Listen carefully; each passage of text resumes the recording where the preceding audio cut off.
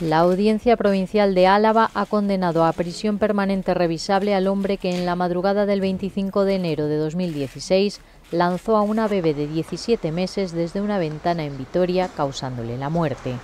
Además, le ha impuesto una pena de siete años y medio de cárcel por intentar matar a la madre de la niña, una joven residente en Burgos a la que había conocido unas semanas antes a través de Internet y que entonces tenía 18 años.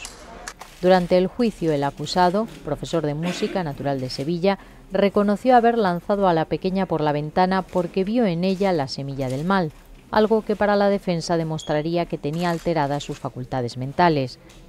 La sentencia ha sido notificada a las partes y se ajusta al veredicto de culpabilidad que dictó el jurado popular por unanimidad y que no consideró probado que el hombre tuviera sus facultades mermadas.